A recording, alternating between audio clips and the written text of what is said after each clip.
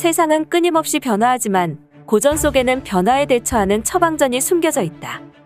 천하제일의 김한술, 출세를 위한 최고의 수단, 세계 제일의 심리서, 최고의 비즈니스 지혜라는 별명을 가진 36개. 36개는 군사 모략이 36개라는 것이 아니라 이루 다 헤아릴 수 없는 모략을 비유했을 뿐이다. 36개를 6개 카테고리로 분류하고 다양한 상황에 적용하도록 체계를 잡은 것이 특징이다.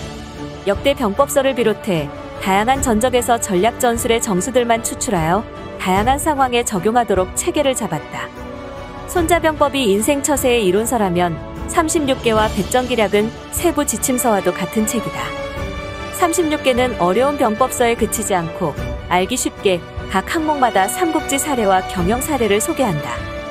손자병법, 백전기략 36개. 군사전략가는 물론 최고 경영자라면 평생 머리맡에 두고 읽어야 할 3대 병법서. 백전기략과 함께 읽으면 언제 어디서나 백전백승. 군사전략가와 최고 경영자, 나아가 모든 사회인의 필독서. 창의 출판사에 36개였습니다.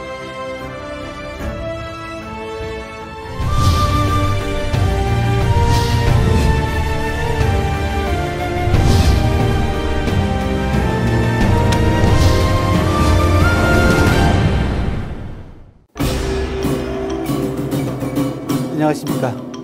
36개는 수의 미학입니다. 아, 이때 수라는 것은 숫자를 얘기하는 그 수를 얘기를 합니다. 우리가 수를 낸다라고 할 때도 이 수를 씁니다. 36개는 책 제목 자체도 36이라고 하는 수가 붙어 있지 않습니까? 아마 아, 전 세계 어떤 병법서나 어떤 경영의 책략서를 뒤져봐도 수를 가지고 아, 제목으로 잡은 책은 아마 36개가 거의 유일무이하지 않을까 싶을 만큼 또 그것도 여섯 개의 큰 카테고리에 그 하위 또 여섯 개, 6력이 36 모든 게 수로 연결되어 있습니다. 그 수를 가지고 36개는 군사와 인생과 경영의 이치를 설명하고 있는 비책입니다. 오늘 아홉 번째 계책 격안관화로 넘어가겠습니다. 아, 적전계의 세 번째 계책이 되겠습니다. 어, 격이라는 건 떨어져 있다는 뜻이고 안이라는 것은 우리 강가를 얘기를 합니다. 그래서 강 건너 관화 불구경 그런 뜻이 되겠습니다. 격안관화가 어디서 나와 있는지 출처는 예, 현재까지 밝혀져 있지 않습니다. 아, 하지만 격안관화는 우리가 흔히들 우리 속담에도 뭐 강 건너 불구경하냐 뭐 이런 식으로 얘기를 하지 않습니까? 이게 다 36계의 격안관화에서 나왔다라는 거죠. 아마 아, 다른 출전이 발견되지 않는 한 격안관화는 36계 자체가 오리지널 텍스트가 되지 않을까 싶습니다. 격안관화는 결과적으로 아무것도 하지 않는 겁니다. 구경하는 거니까요. 그래서 어, 도교적인 용어를 빌리자면 무위, 아무것도 하지 않는 것도 대단한 위력을 발휘할 수 있다라고 하는 참 심오한 의미를 가지고 있는 그런 계책이기도 합니다. 역사적인 사례부터 먼저 보시도록 하겠습니다. 조조하고 원소의 관도대전은 삼국지 3대 대전 가운데서 첫 번째 대전으로 대단히 유명한 전투입니다. 절대 열세였던 조조가 아, 원소를 물리치고 승리함으로써 일약 영웅으로 떠오르게 되는 그런 전투이기도 합니다. 관도 전투에서 패한 원소는요, 작은 아들인 원상을 후계자로 지명을 합니다. 조조가 상대 즉 원씨 집안에 내분이 일어났다고 생각하고 즉시 원씨 형제에 대해서 공격을 감행합니다. 하지만 적으로부터 공격을 받자 형제들이 똘똘 뭉쳐가지고 기주를 사수합니다. 전투가 표착 상태에 빠져버립니다. 이때 조조의 참모 가운데 가장 뛰어난 참모가 곽과라고 하는 참모가 있습니다.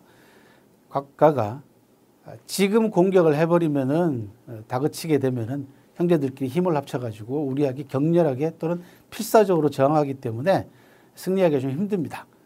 어차피 저쪽은 후계자 문제가 있기 때문에 가만히 지켜보면은 아마 내분이 일어날 가능성이 큽니다. 라고 얘기를 합니다. 그렇게 해서 조조가 공격을 멈추고요. 일단 원시 형제 내분이 일어나길 기다립니다. 아니나 다를까 원담이 조조에게 구원을 요청합니다. 아, 그렇게 해서 손쉽게 원시 형제들을 제거합니다. 뭐 자중질환이 일어났기 때문에요. 요동으로 달아납니다. 원희하고 원상은요. 공송강이 큰 세력으로 있던 요동지방으로 달아납니다. 이때 다시 조조가 원시 조조의 참모들이 쫓아가서 이참에 바로 원시들을 쫓아가서 일단 끝장을 내버립시다. 라고 제안합니다. 이때 조조는 잠깐 기다려라. 며칠 내로 원시 형제의 목을 아마 가지고 올 거다. 그렇게 얘기를 합니다. 애나 다를까 며칠이 지나지 않아서요. 원희 원상의 목이 조조에게 배달되어 왔습니다. 왜 그러냐? 공성강하고 원시들이 원래 사이가 좋지 않았습니다. 달아날 곳이 없다 보니까 원시 형제들이 요동 후에 즉 공성강한테 달아나긴 했습니다만 공성강 입장에서는 원시 형제가 정말로 자기한테 투항한 것인지 아닌지 믿을 수가 없는 거죠. 그리고 조조와의 관계를 생각해서 이참에 아예 원시들을 제거해버리고 조조의 환심을 사내게 낚였다 싶어서 원시 형제의 목을 베어가지고 조조에게 어, 보낸 겁니다. 부하들이 조조에 대해서 감탄을 했죠. 어, 자기 장수가 자기 리더가 어떻게 저렇게 귀신같이 상대편의 의중을 알아챘을까. 이때 조조가 편지 하나를 부하들에게 꺼내서 읽어줍니다. 누, 누구의 편지냐 그러면 일찍 죽은 각가가 죽기 전에 만약에 원시 형제가 요동으로 달아나면 즉각 공격하지 말고 기다리십시오라고 하는 계책을 이미 다 마련해 놓고 죽었던 겁니다. 아, 조조는 원시 형제의 상황을 면밀히 살피면서 격안 관화의 책략으로 자기의 정적을 손쉽게 제거했습니다. 자, 경량 사례에서도 재미난 사례가 있습니다. 아, 가장 대표적인 사례를 들자면 일단 스위스의 90년대 스위스의 우체국들이요.